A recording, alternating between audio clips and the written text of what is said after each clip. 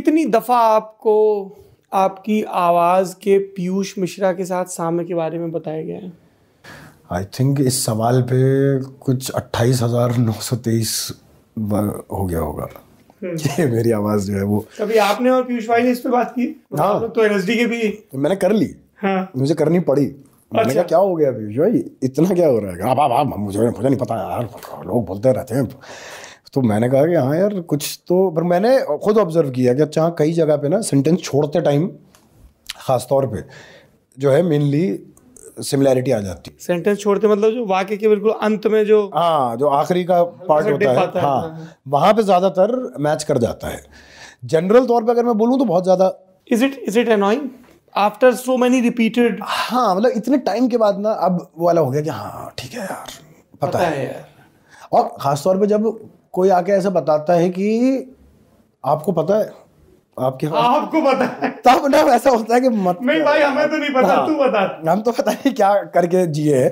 تو وہ والا نا اب جیسے شروعات میں میرا ایسا ہوتا تھا کہ ہاں ٹھیک ہے یار ہم اپریشیٹ کرتے ہیں پیوش بھائی کو یہ وہ۔ اچھا شروع میں تو جب مجھے بالکل پہلی بار کسی نے بولا تھا تب تو میں جانتا بھی نہیں تھا پیوش بھائی کو ٹھیک سے۔ یہ میں اپنی دنیا میں چھوٹا سا کالج کے تھیٹر گروپ والے لیول پہ کام کرتے تھے زیادہ اس طرح سے نالج نہیں تھی۔ تو کسی نے بولا ارے پیوش مشرا سے بڑا ملتا ہے۔ میں نے کہا نام سنا ہوا تھا پر کبھی کوئی انٹریکشن اس طرح سے تھا نہیں۔ تو میں نے کہا اچھا ہوگا بھائی ملتا ہوں گا۔ یہ وہ اچھا شکل بھی ملتی ہے ایمانداری کی بات تو یہ ہے کہ میں نے ان کی پرانی کچھ جوانی کی فوٹو دیکھی۔ تو ایک ہے ہلکی سی انکینی سملیرٹی ہے۔ تو یہ چلتا تھا دھیرے دھیرے باتیں آگے بڑھتی گئیں۔ پھر میں نے دیکھا ٹھیک ہے اپریسیشن تھا سب تھا۔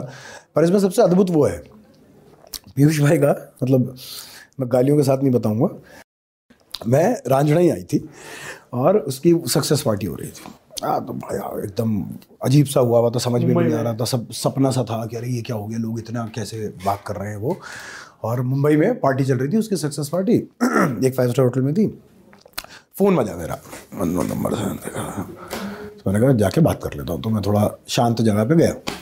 وہاں سے سیدھے کہ، ہلو، محمد ذیشان ایوب بول رہے ہیں تو میں کہا جی بول رہا ہوں۔ بولا، اس ناچیز کو پیوش مشرا بولتے ہیں۔ تو میں نے کہا ہاں پیوش بھائی بولیے اچھا این ایس ڈی میں دو تین بار مل چکے ہیں مجھ سے اس سے پہلے وہ رنجیت سر کے ساتھ ہم رنجیت کپور کے ساتھ ناٹک کر رہے تھے تب بھی آئے تھے پنڈت جی کے ساتھ ملے ہوں گے بار پنڈت جی کے ساتھ ایک دو بار ملے ہیں تو ان سے مطلب جان پہچان تھی پر وہ پیوش بھائی ہیں پیوش بھائی بھول گئے کیا بات ہے تو کہا تو تم مل چکا ہے مجھ سے تو میں نے کہا یار پیوش بھائی کیسی بات کر رہے ہو این ایس ڈی میں کتنی بار ملا بابا ہٹا اسے تو یہ بتا تو پتا کیسے ہو گیا مطلب کہہ رہا بھائی، لوگ مجھے فون کر کر کے بول رہے ہیں کہ آپ کے بیٹے نے رانجھڑا میں بہت اچھا کام کیا ہے۔ میں پریشان ہو گیا ہوں۔ میری میری بیوی مجھ پہ شک کرتی ہے کہ یہ کہاں سے بچہ پیدا کر لیا تم نے؟ تو میں نے کہا یار پیش بھائی، کیسی باتیں کر رہے ہو؟ کیا ہو گیا؟ اچھا اچھا یہ سب چھوڑ، تو گھر آ مل لیا میں نے کہا، پیش بھائی اب نا مجھے جانتے ہو، آپ کو بھی یاد نہیں آ رہا۔ میں نے اس والے پلے میں جو آپ نے پہلے رول کیا تھا ایٹی تھری میں، وہ رول میں نے کیا ابھی۔ ہاں،, ہاں ہاں مجھے نہیں پتا۔ تو گھر آئے۔ تو وہ آدمی خود ادبھت ہوا ہوا ہے۔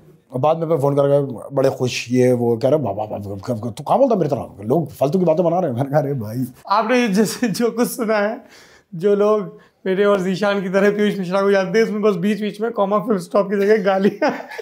بہت ساری۔ اور پارش میں خوب سارا کتھئی پانی۔